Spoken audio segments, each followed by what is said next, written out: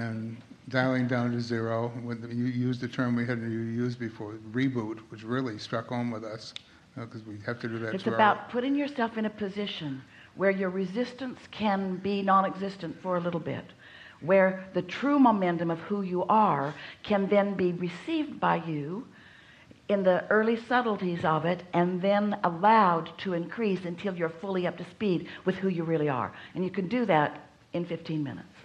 Mm-hmm.